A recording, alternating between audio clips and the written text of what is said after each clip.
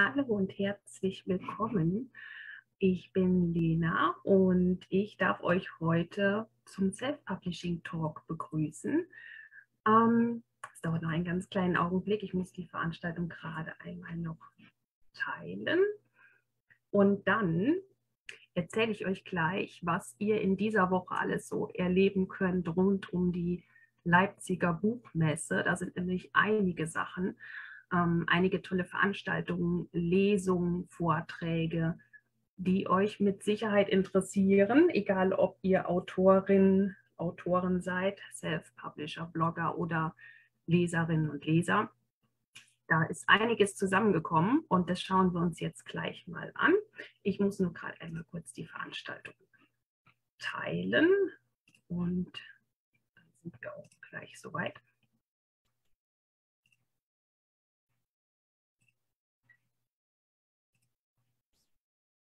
So, wie schon gesagt, also diese Woche bietet uns vor allem als Autorinnen und Autoren ganz viele Möglichkeiten, äh, unsere Bücher zu präsentieren, aber auch uns fortzubilden, auch wenn die Leipziger Buchmesse jetzt leider doch nicht so stattfindet wie geplant. Ähm, wir sind hoffnungsvoll für nächstes Jahr, wie auch letztes Jahr schon. Wir bleiben hoffnungsvoll und äh, in diesem Livestream geht es jetzt darum, was wir ansonsten so Tolles machen können. Und da habe ich ein paar Sachen für euch zusammengetragen. Zum Beispiel hätten wir da die Leipziger Autorenrunde am 29. Mai. Ich poste euch alle Links übrigens gleich auch noch unten in die Kommentare, sodass ihr gleich da dran kommt. Am 29. Mai erfahren Autorinnen bei der Leipziger Autorenrunde alles Wissenswerte für die eigene Tätigkeit, sei es über das Schreibhandwerk, Marketing, Lesungen oder Networking. Die kompakten 15-minütigen Vorträge samt parallelen Fragerunden bieten viele Erfahrungswerte. Ähm, das Ticket für die Leipziger Autorenrunde kostet 29 Euro. Ähm, mit diesem Ticket kann man aber an allen Veranstaltungen und Vorträgen teilnehmen. Und auch der Self-Publisher-Verband ist vertreten bei der Leipziger Autorenrunde von 12.40 Uhr bis 12.55 Uhr hält Matthias Matting einen Vortrag über Neuigkeiten im Self-Publishing und die aktuellen Strategien zum Erfolg. Ähm, das würde ich nicht verpassen, weil der Matthias, der hat immer ganz schön viel ähm, Wissenswertes zu berichten. Ähm, den Livestream, den verlinke ich euch auch gleich in den Kommentaren. Und dann zwischen 16.40 Uhr und 16.55 Uhr diskutieren dann unsere Vorstandsvorsitzende Jeanette Lagall und Lena Falkenhagen, das ist die Bundesvorsitzende des VS, über die digitale Zukunft von Autorinnen. Auch den Livestream verlinke ich euch jetzt gleich. Ähm, Übrigens dürft ihr gerne mit mir sprechen. Es ist so komisch, dass ich alleine in diesem Livestream bin. Das wollte ich eigentlich eben noch gesagt haben. Es ist ein bisschen seltsam, dass ich äh, heute alleine hier bin. Es ist, als würde ich mit mir selbst sprechen. Deswegen dürft ihr gerne in die Kommentare schreiben, wenn ihr mir gerade zuschaut und falls ihr Fragen habt. Ähm, ich hoffe, die werden mir rechtzeitig angezeigt, die Kommentare. Ähm, aber bestimmt. Sehe ich bestimmt gleich. Und dann geht es weiter. Ähm, wir vom Self-Publisher-Verband haben uns was überlegt. Normalerweise könnt ihr eure Bücher, wenn ihr Mitglied im Verband seid, ja an unserem Stand auf der Messe, sei es die Leipziger oder auch die Frankfurter Buchmesse, ausstellen. Zumindest ähm, die aktuellsten Bücher. Ähm, das ist ja dieses Jahr leider auch nicht möglich. Aber wir haben uns da etwas anderes überlegt und zwar haben wir ein virtuelles Bücherregal, in dem Verbandsmitglieder alle ihre Bücher ausstellen können. Zu diesem Zweck haben wir uns einen Hashtag überlegt und unter diesem Hashtag ähm, finden wir dann alle eure Beiträge. Ähm, ihr habt den, den Newsletter bekommen, da stand die Erklärung drin. Falls nicht, könnt ihr euch gerne noch bei mir melden.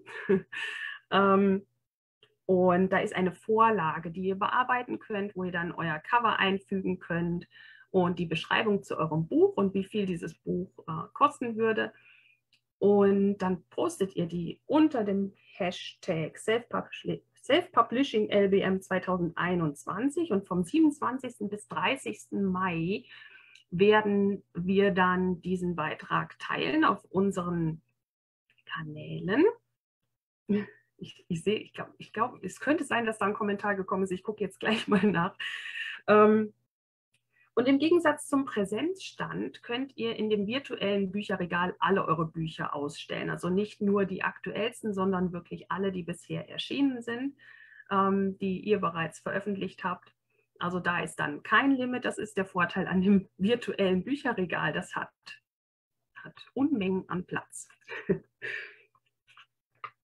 dann geht es weiter. Und zwar am 27. Mai von 10.10 Uhr bis 11.30 Uhr spricht unsere Vorstandsvorsitzende Jeanette Lagall im Deutschlandfunk zusammen mit Wolfgang Tischer von Literatur das ist ein schwieriges Wort, literaturcafé.de und Carmen Udina vom Börsenverein des deutschen Buchhandels live in der Sendung Marktplatz über das Thema vom Manuskript zum eigenen Buch Verlage finden und selbst veröffentlichen.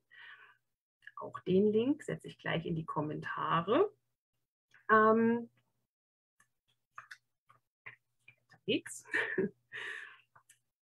Das ist was ganz Neues. Da wusste ich vorher auch nichts von, dass es das überhaupt gibt. Eine Aktion von Writers for Future, also Writer wie Schreiber auf Englisch, Writers for Future die Organisation Writers for Future setzt sich für die Ziele von Fridays for Future ein, unterstützt diese aktiv und tritt für mehr Klimagerechtigkeit in der Buchbranche und in der Öffentlichkeit ein.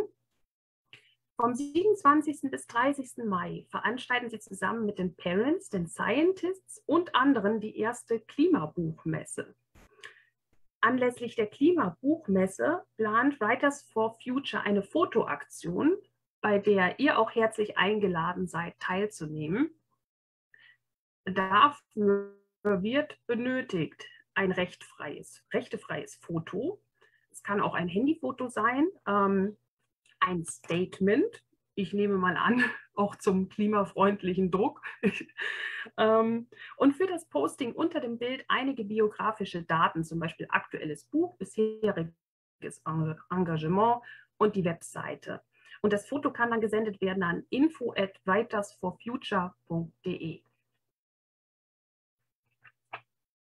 Ich schaue jetzt mal nach, ob Kommentare eingegangen sind. Facebook und ich, wir sind ja immer so hm, hm, hm. nicht die besten Freunde. ähm,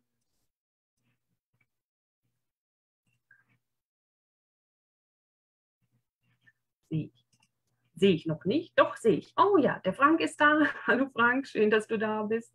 Und sogar Grüße aus Frankreich. Oh, ich bin nicht allein. Das freut mich. Das freut mich wirklich sehr, dass ich nicht alleine hier bin und mit mir selbst spreche. Ähm, und ich weiß nicht, warum da eine Übersetzung ins Deutsche mit. Ich hoffe, ich spreche Deutsch. Ihr versteht mich hoffentlich alle. Ähm, und Maja, ja, natürlich. Also ihr dürft eure Beiträge auch schon vor dem 27. Mai posten. Wir sehen das ja dann, wenn wir den Hashtag suchen. Also das ist kein Problem. Kann auch gerne jetzt schon gepostet werden. Und ähm, wir posten die aber erst zwischen dem 27. und dem 30. Mai. Also wir teilen die dann erst in dieser Zeit. Aber die können natürlich gerne schon vorher, schon vorher gezeigt werden. Ähm, Ja, okay. So, dann geht es weiter. BOD hat wieder seine Home Story am Start. Ähm, da freue ich mich immer besonders drauf, weil da sind immer ganz viele besonders äh, interessante Beiträge dabei. Die läuft auch vom 27. bis 29. Mai. Ähm, da geht es um Gesprächsrunden, Vorträge, Tipps und Tricks zum Schreiben, Gestalten, Veröffentlichen und Vermarkten. Das ist ein Livestream über den YouTube-Kanal von BOD. Ähm, es geht los am 27. Mai. Ich habe jetzt allerdings nicht alle, ähm, alle Vorträge rausgesucht. Ich habe nur die rausgesucht, bei denen ich dachte, das könnte für uns interessant sein. Ähm, 27. Mai, da geht es dann los um 17 Uhr, 17 Uhr bis 18.30 Uhr. Das ist der Community-Abend mit BOD. Da treffen sich Autorinnen, Bloggerinnen und BuchhändlerInnen, ich muss das deutlicher aussprechen, ähm, ich spreche hier nicht nur die Frauen an, ähm, und alle diese Personen sind herzlich eingeladen zum gegenseitigen, gegenseitigen Austausch. Am Freitag geht es dann weiter, 28. Mai, 16 Uhr bis 16 Uhr 45. Äh, der Vortrag heißt Meine perfekte Lesung. Die Profisprecherin Beatrix Hermens gibt Tipps für die perfekte Vorbereitung und eine professionelle Lesung. Weiter geht es dann zwischen 17 Uhr und 17.45 Uhr Self-Publishing und der Buchhandel, was du als Autorin wissen und beachten solltest, wenn du deine Titel über den gesamten Buchhandel vertreiben möchtest. 18 Uhr bis 18.45 Uhr mein erster Satz. Allem Anfang wohnt ein Zauber inne. Lektorin Johanna Badorek spricht mit BOD über Anfänge und das Anfangen selbst.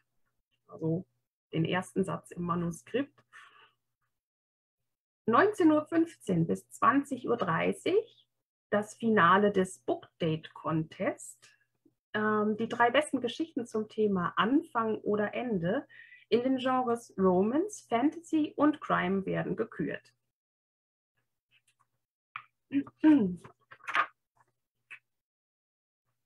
Und aus Indonesien, Kaspar, ehrlich? Was ist jetzt? Jetzt werde ich langsam nervös hier. ähm, ähm, sind wir jetzt schon am Sa ja, Samstag ist der 29. Mai. Nee, Sonntag. Ihr wisst Bescheid, wir sind, wir sind jetzt bei Samstag angelangt, 29. Mai. 11.15 Uhr bis 12 Uhr die Do Do's und Don'ts im Self-Publishing. Was beachtet werden sollte, wenn man sein Buch im Self-Publishing veröffentlichen möchte. 13.15 Uhr bis 14 Uhr Workshop Coverwerkstatt. Die Grafikerin Anastasia Braun und Annika aus dem BOD-Team Buchdesign und Lektorat zeigen Trends und Lieblingscover und erklären, wie aus einem Buchcover ein wirklich tolles Cover wird. Also auf was es da besonders ankommt. Ähm, 14 Uhr bis 14.45 Uhr. So kannst du deine Werbemaßnahmen optimal planen. Wie funktioniert Marketing? Wie kannst du Personas für deine eigene Zielgruppe entwickeln und wie kannst du anhand einer Touchpoint-Analyse in der Customer Journey eigene Werbemaßnahmen ableiten. Und ich glaube, ich muss diesen Workshop besuchen, weil ich mindestens drei dieser Wörter noch nie gehört habe. ähm, ab 16 Uhr Schreibworkshop mit dem Bestseller-Autor Martin Christ, wie du spannende Szenen und Geschichten schreibst. Ich setze euch jetzt mal ganz kurz schon mal ein paar Links in die, in die Kommentare rein dass ihr da gucken könnt. Hm.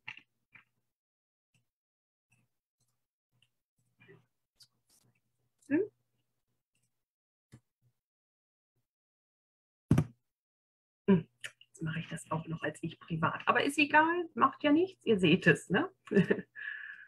ähm, die Leipziger Autorenrunde haben wir, hatte ich ja eben erwähnt. Dann ähm, der Vortrag von Matthias Matting, der Vortrag von Jeannette Lagal.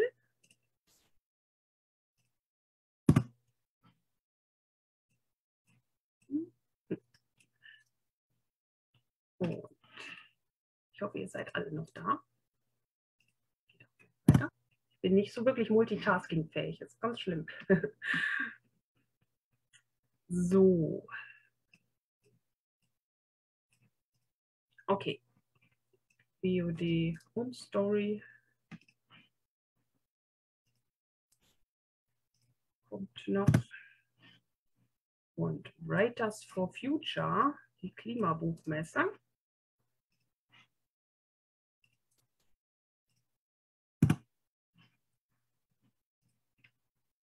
Und dann geht es weiter mit der Tolino Media Leseparty.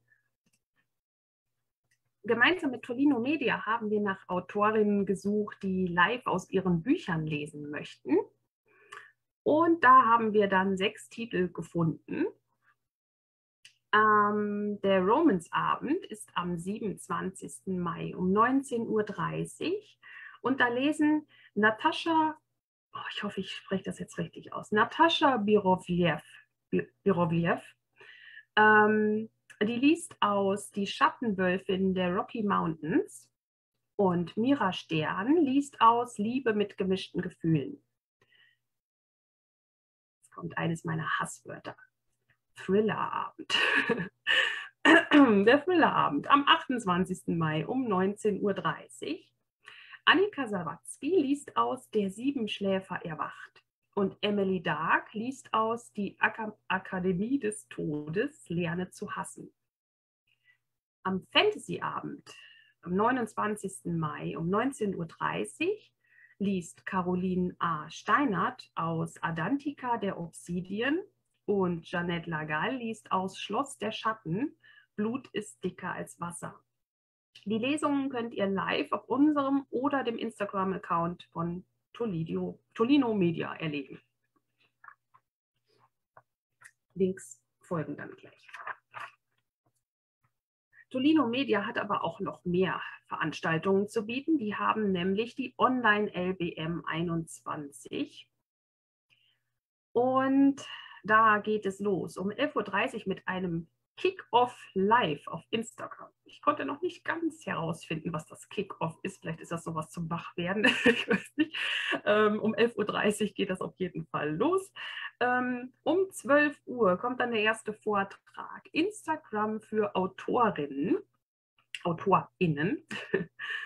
ähm, und um 14.30 Uhr Geld verdienen mal anders. Möglichkeiten für Self-Publisherinnen.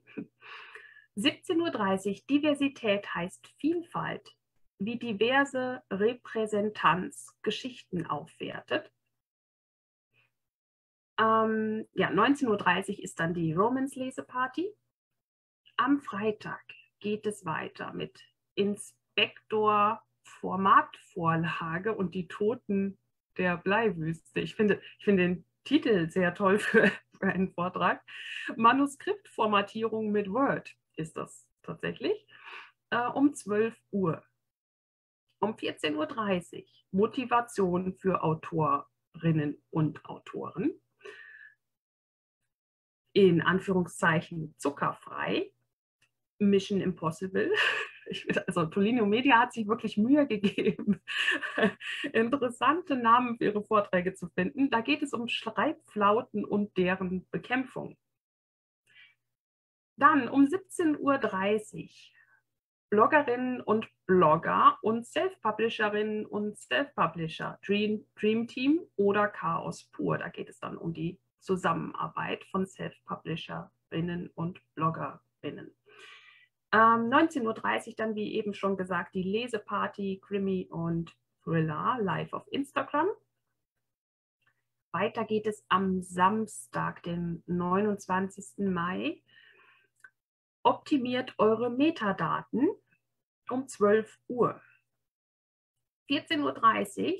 Wie organisiert man ein Online-Event? 17.30 Uhr.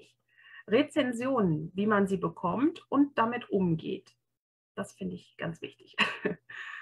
Und um 19.30 Uhr dann die Leseparty Fantasy live auf Instagram. Am Samstag ist außerdem dann zum Abschluss äh, der Online-LBM um 20 Uhr noch die Standparty. Die findet in Zoom statt. Und den Link setze ich gleich auch wieder in die Kommentare rein. Weiter geht es mit Heldenstücke live ein Treffpunkt, an dem sich Kreative und Familien begegnen. Es werden digitale Events präsentiert und andere Formate live und on demand, also auf Abruf später noch gezeigt. Vom 27. bis zum 30. Mai könnt ihr auf Heldenstücke live an Lesungen, Schreibworkshops oder Diskussionsrunden teilnehmen. Außerdem könnt ihr auch immer euer eigenes Event erstellen auf Heldenstücke Live. Ein Erklärvideo dazu findet ihr auch direkt auf der Homepage.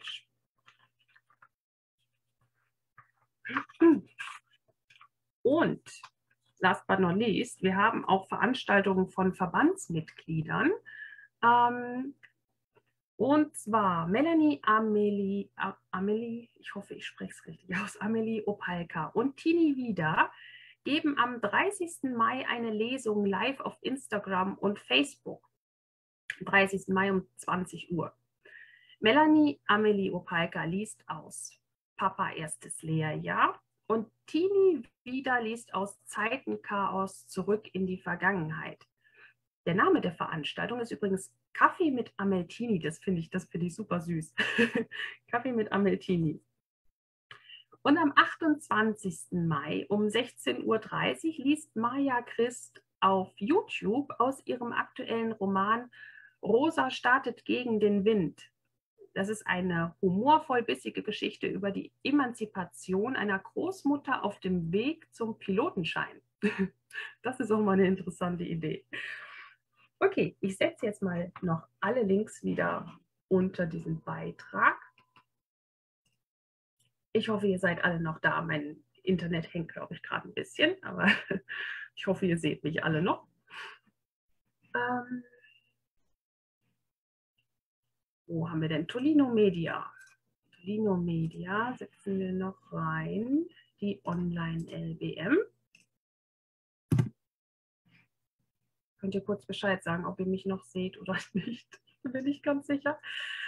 Ähm, Heldenstücke live. Und vielleicht habt ihr ja auch noch irgendeine Idee, was es ansonsten noch so gibt. Also ähm, ich, falls ich irgendwas vergessen haben sollte, falls ihr selbst eine Veranstaltung plant oder ähnliches, dann sagt mir bitte Bescheid. Alles gut, Dankeschön. Ähm, bei der Lesung von Tini Wieder und, ähm, und Melanie Amelie Opalka setze ich euch den Instagram-Account von Tini wieder rein. Äh, da könnt ihr dann auf jeden Fall die Lesung sehen. Und Maja Christ äh, liest auf YouTube. Da setze ich euch gerade einmal den YouTube-Kanal rein, damit ihr das nicht verpasst. Okay. Ihr seht und hört mich. Maja Christ ist ja sogar da. Schön. okay. Also, wenn euch irgendwas noch einfallen sollte, dann ähm, könnt ihr das ja noch unter die Kommentare setzen wenn noch irgendwas, falls ich irgendwas vergessen haben sollte. Ich hoffe, ich hatte so ein paar interessante äh, Vorträge für euch dabei, dass ähm, ihr keine Langeweile habt in den nächsten Tagen. ähm, und ansonsten wünsche ich euch, ich, ich, bin jetzt, ich bin früh durch. Das ist, das ist, wenn man alleine spricht. Ne? Dann kommt man ein bisschen schneller ans Ende. Ich hoffe, es hat euch trotzdem gefallen und ich wünsche euch allen noch einen, einen schönen Abend. Genießt den Abend noch und ähm, ganz viel Spaß bei den Lesungen, Vorträgen und sonstigen Veranstalt Veranstaltungen, die noch so kommen. Bis bald.